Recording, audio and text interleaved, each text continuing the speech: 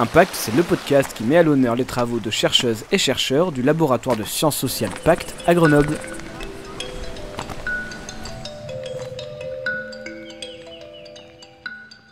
Amélie Artis, bonjour et merci beaucoup d'avoir accepté de participer à ce podcast produit par le laboratoire Pacte dans le cadre de la Fête de la Science 2020. Bonjour.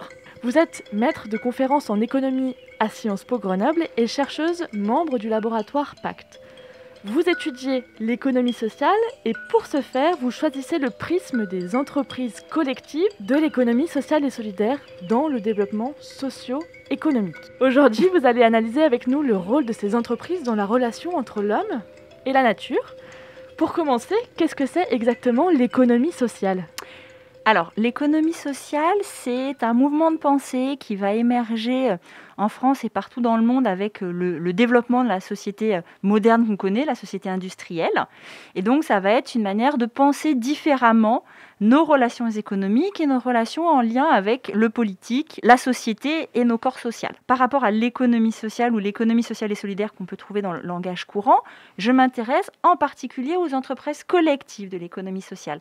C'est-à-dire que ce mouvement d'idées a été en capacité à produire des règles de fonctionnement, des règles économiques, politiques, sociales, qui s'incarnent dans un idéal type qui est l'entreprise collective.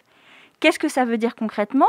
Ça veut dire que Parmi les entreprises qui produisent des biens ou services au quotidien, c'est-à-dire là où vous mangez le midi, là où vous achetez votre café, là où vous euh, allez travailler ou euh, là où vous faites vos, activités euh, culturelles, et eh ben, parmi ces organisations-là, certaines sont des entreprises collectives. Et donc ça veut dire qu'elles vont avoir des règles de fonctionnement en interne sur comment elles produisent, quel est leur rapport de répartition et quel est leur rapport de gestion.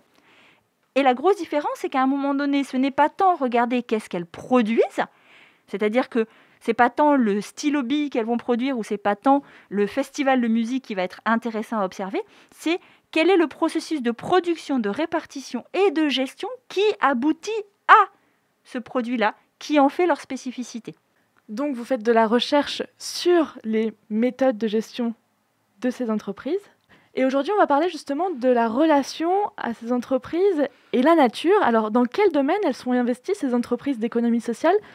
Dans le cadre de notre sujet du jour alors, dans les relations entre l'homme et la nature, les entreprises collectives d'économie sociale ont des rôles assez particuliers. On va les trouver aujourd'hui dans la question de l'énergie. Vous pouvez avoir des entreprises comme Enercop qui vont vous produire de l'énergie. Vous pouvez l'avoir dans la mobilité.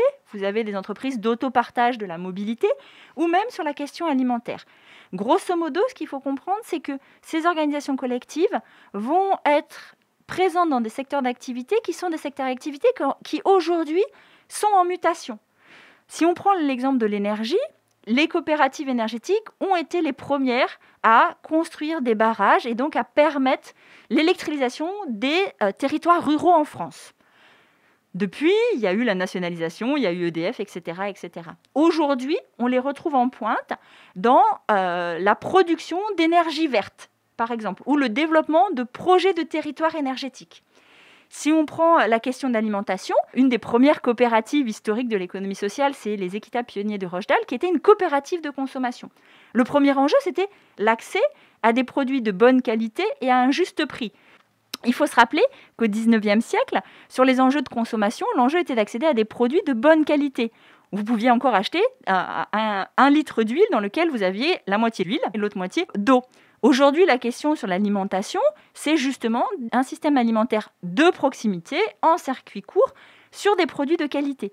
Et donc on voit bien que là, les entreprises collectives de l'économie sociale sont à un moment donné questionnent justement le rapport productif et de répartition qu'on a avec notre environnement, qu'on a avec nos ressources naturelles et qu'on a avec notre écosystème dans sa généralité. Vous avez beaucoup euh, parlé de coopératives. Est-ce que vous pouvez nous expliquer le, système de gestion en coopérative de ces entreprises de l'économie sociale? Les entreprises collectives de l'économie sociale ont euh, des euh, règles de fonctionnement interne qui traversent l'ensemble de leur statut, qu'elles soient coopératives, associatives, mutuelles ou fondations. La première, c'est l'adhésion libre et volontaire. C'est-à-dire qu'il n'y a pas de barrière à l'entrée et l'enjeu est de faciliter l'émancipation par cette adhésion libre et volontaire. Le deuxième élément qu'on connaît beaucoup, c'est la gestion démocratique. C'est-à-dire que ce n'est pas en fonction du capital que j'ai que j'ai du pouvoir, mais tout homme, au sens euh, générique du terme, a le même pouvoir. Et ça peut nous paraître commun aujourd'hui, mais c'est des organisations qui ont créé au 19e siècle. Donc, les femmes ont eu le droit de vote à égalité des hommes dans les coopératives avant de l'avoir pour élire euh, au suffrage universel. L'autre élément, c'est la répartition, dont j'ai beaucoup insisté. Parce que, comme ce sont des sociétés de personnes et non pas des sociétés de capitaux, on ne rémunère pas le capital. Et donc la répartition se fait pour le collectif. Elles ont un capital intergénérationnel qui grandit en fonction qu'elles se développent et qui se transmet de génération en génération, qui reste collective et qui n'est pas appropriée par un individu. Donc voilà les règles qu'on retrouve dans l'ensemble de ces statuts et qui va faire leur spécificité et donc un environnement organisationnel particulier. Alors, on parle euh, d'économie sociale et d'un laboratoire euh, qui est tourné sur le territoire euh, et, et l'homme. J'aimerais bien vous questionner sur les méthodes finalement que vous employez pour analyser ces structures d'économie sociale et solidaire. Alors par rapport à ça, se placer dans l'économie sociale, comme dans beaucoup de sciences sociales, et c'est aussi l'identité de pacte par rapport à ça, c'est finalement d'avoir une approche située, c'est-à-dire de prendre en compte les contextes institutionnels, historiques de nos objets, comprendre leur dynamique dans le temps et en interaction avec leur environnement. Et c'est ça qui favorise aussi beaucoup de recherches pluridisciplinaires avec mes collègues sociologues, politistes ou même euh, historiens, parce que pour moi, en termes de méthode, c'est de bien comprendre les dynamiques dans des contextes situés et donc d'avoir une analyse située de ces organisations-là. Et non pas un apport normatif ou de jugement par rapport à ces éléments-là, mais bien comprendre les dynamiques et les interactions de ces acteurs avec leur système. Et pourquoi est-ce qu'il y a un intérêt euh, pour vous en tant que chercheuse, mais aussi pour le laboratoire dans lequel vous évoluez, de vraiment investir sur euh, ce sujet des entreprises de l'économie sociale quand on parle de relations de l'homme et de la nature? Pour moi, il y, a deux enjeux principaux. Le premier, ça permet euh, de démontrer, de réaffirmer que on peut euh, gérer nos activités productives et on peut gérer notre rapport à la nature au-delà d'un rapport purement marchand ou d'un rapport de gestion publique. Si on reprend le prix Nobel qu'a eu Eleonore Ostrom euh, par rapport à la tragédie des communs, elle nous dit oui, il y a des gestions collectives qui sont possibles. Dans ce contexte-là, les organisations de collectifs de l'économie sociale sont une incarnation concrète de cette alternativité par rapport à une gestion purement marchande ou par rapport à une gestion publique, dans le sens où c'est bien la communauté en elle-même qui va s'auto-organiser pour gérer sa ressource. L'autre élément qui est intéressant aussi, c'est comme je le disais tout à l'heure, ce sont des organisations qui sont très dynamiques dans les secteurs en mutation ou face aux grandes tensions qu'on a dans notre société. Euh, si je prends l'exemple sur la question environnementale, ce sont les associations qui ont été les premières dans les années 80 à faire du lobbying pour que la question environnementale soit sur le, sur le devant de la scène, pour qu'elle soit mise à l'agenda public. Et donc, ce sont des organisations qui vont être des vraies antennes pour comprendre les aspirations de la société et pour expérimenter, trouver des alternatives et mettre en pratique des solutions économiques viables par rapport à ces mutations en cours. J'aimerais euh, vous poser euh, la question du devenir de ces entreprises euh, d'économie sociale. On est en 2020 aujourd'hui, il y a des enjeux très forts en termes de climat, en termes de euh, responsabilité locale, mais aussi étatique sur ce climat. À votre avis, euh, est-ce que ces entreprises d'économie sociale, elles vont devenir la grosse part de ce qu'est euh, l'entreprise en France demain, ou est-ce qu'elles vont elles-mêmes muter en une autre forme? Premièrement, souvent, on a l'idée reçue que ce seraient des entreprises récentes qui viendraient euh, à suite des crises, la crise de 2008, euh, la crise du Covid, etc., etc.